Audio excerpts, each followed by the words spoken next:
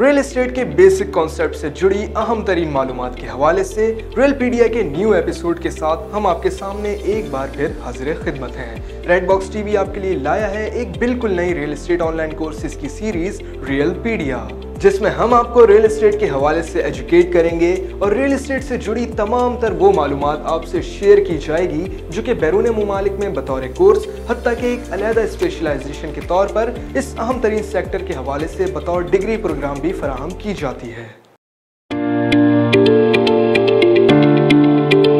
असलम नाजरीन मेरा नाम है अब्दुल बासित और रियल इस्टेट कोर्सेज की इस सीरीज़ में रियल इस्टेट के बुनियादी असूलों रियल इस्टेट की इकसाम और मुख्तलिफ़ पैरामीटर्स के हवाले से गाइडेंस के लिए मैं बतौर इंस्ट्रक्टर आपके साथ रहूँगा। आज भी हम साथ मिलकर रियल इस्टेट सेक्टर से जुड़े एक अहम तरीन पहलू पर बात करेंगे। वो जुड़ी है लैंड ओनरशिप के हवाले से। आज का हमारा टॉपिक है कि पाकिस्तान में ज़मीन का मालिक कौन बन सकता है? Who can own land in Pakistan जायदाद और इमलाक के कवानीन और हकूक़ का तहफ़ आइन पाकिस्तान में मौजूद है और प्रॉपर्टी और जायदाद के हकूक़ खुद हमारे आइन पाकिस्तान उन्नीस सौ तिहत्तर में महफूज किए गए हैं। 1973 के आइन की रोशनी में जायदाद और इमलाक के हवाले से कई ख़ास और मखसूस कवानीन दर्ज झेल हैं, जो कि प्रॉपर्टी और जायदादों की अलहदा इकसाम और उनके मुख्तलिफ़ एस्पेक्ट्स और दीगर मामला से निमटने के लिए डिज़ाइन किए गए हैं। इस्लामी जमहूरिया पाकिस्तान के उन्नीस सौ तिहत्तर के आइन के आर्टिकल तेईस, चौबीस, एक सौ बहत्तर और एक सौ तिहत्तर में पाकिस्तान में मौजूद निजी इमलाक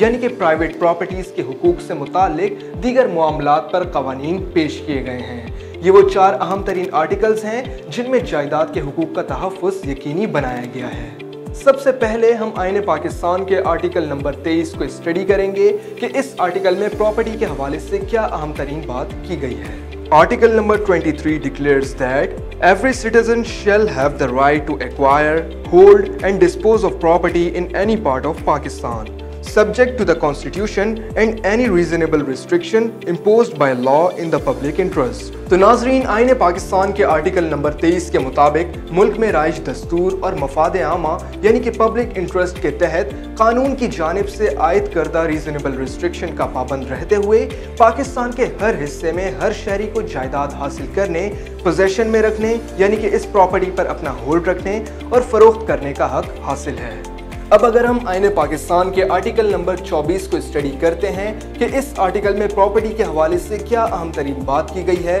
तो आर्टिकल 24 में निजी जायदाद के हसूल के सिलसिले में हमें मजीद तफसीत से वजाहत की गई है article 24 declares that No property shall be compulsory acquired or taken possession of save for a public purpose and save by authority of law which provides for compensation therefore and either fixes the amount of compensation or specifies the principle on and the manner in which compensation is to be determined and given.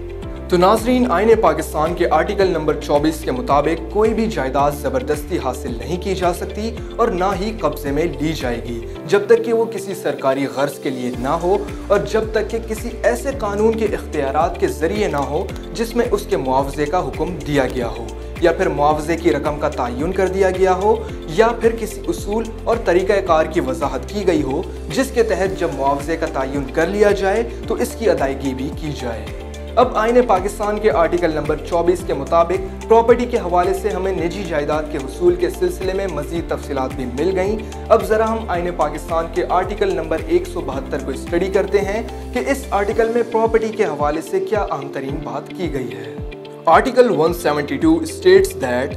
any property which has no rightful owner shall, if located in a province, vest in the government of that province and in every other case in the federal government. तो नाजरीन आइन पाकिस्तान के article number एक सौ बहत्तर के पहले point के मुताबिक, ऐसी कोई भी जायदाद जिसका कोई राइटफुल ओनर यानी कि कोई कानूनी तौर पर कोई जायज़ मालिक ना हो, और अगर किसी सूबे में वो जायदाद वाक़ हो तो इस सूबे की हुकूमत की मलकियत होगी, वरना किसी दूसरी सूरत में वो जायदाद विफाकी हुकूमत की मलकियत मानी जाएगी। इस बात का सीधा मतलब यही है कि अगर सूबाई और विफाकी हुकूमतें किसी जायदाद या इमलाक की मलकियत नहीं रखती तो किसी भी निजी जुमरे में या फिर कोई इंडिविजुअल इस प्रॉपर्टी की मलकियत हासिल कर सकता है। आइए अब जरा देखते हैं कि आर्टिकल नंबर एक सौ बहत्तर मजीद किन चीज़ों की वजाहत करता है। All the land minerals and other things of value within the continental shelf और underline ocean beyond the territorial waters of Pakistan shall vest in the federal government article number एक के दूसरे पॉइंट से हमने ये बात समझी कि वो तमाम अराजी, मादनियात और दूसरी कीमती अशिया, जो कि पाकिस्तान के बर आज़मी किनारे के इलाकाई पानियों की हदूद के अंदर या फिर पाकिस्तान के इलाकाई समंदर की हद पर समंदर के नीचे हों, विफाकी हुकूमत की मलकियत होंगी। अब इस आर्टिकल के तीसरे पॉइंट को हम डिस्कस करेंगे। Mineral oil and natural gas within the province or the territorial water adjacent there to shall waste jointly in equal properties in the province and the federal government.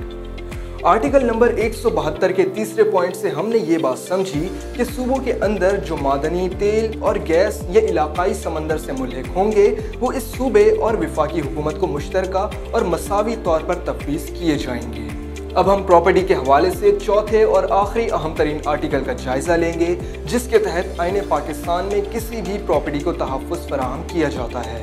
Article 173 seventy three state that point number one the executive authority of the federation and of a province shall extend subject to any act of the appropriate legislature to the grant sale disposition, or mortgage of any property wasted in and to the purchase or acquisition of property on behalf of the federal government or, as the case may be, the provincial government and to the making of contracts. Point number 2. All property acquired for the purposes of the federation or of a province shall waste in the federal government or as the case may be in the provincial government.